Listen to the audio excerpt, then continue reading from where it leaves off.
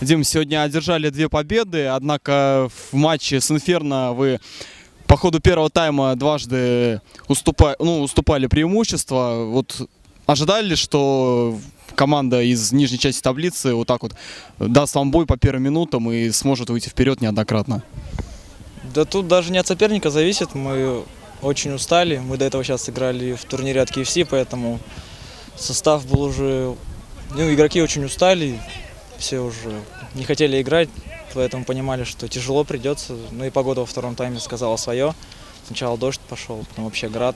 Поэтому такая вязкая получилась, получилась игра, и с преимуществом в один гол всего получилось.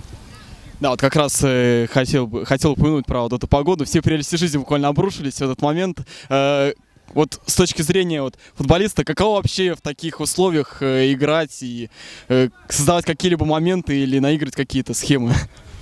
Погол, о, этот, футбол в такую погоду он непредсказуем. Там даже может, может команда из нижней части таблицы взять три очка. Всякие отскоки, рикошеты, очень все опасно. Поэтому футбол тут непредсказуем. Э, Слышал, как в перерыве говорили о том, чтобы использовать прессинг против соперника. Учитывая то, что вы все-таки смогли победить, можно ли сказать, что вот эта ставка на прессинг она сыграла? Да, можно так сказать. Да, в первом тайме без прессинга играли, хотели просто забить свои голы, но забивать не получалось, поэтому во втором тайме решили прессинговать. Соперника они посыпались и видели, что у них нет замен, то есть они будут уставать, и поэтому голы забили свои.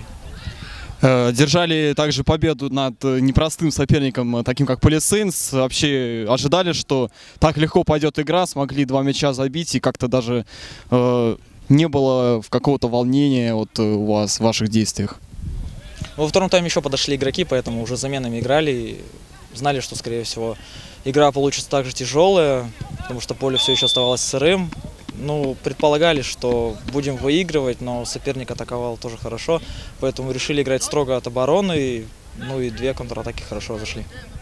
Но благодаря этим победам э, ваши шансы по-прежнему сохраняются на то, чтобы попасть по итогам сезона в стыковые матчи. Как вот оценишь перспективу на остаток, учитывая те матчи, которые у вас еще предстоят?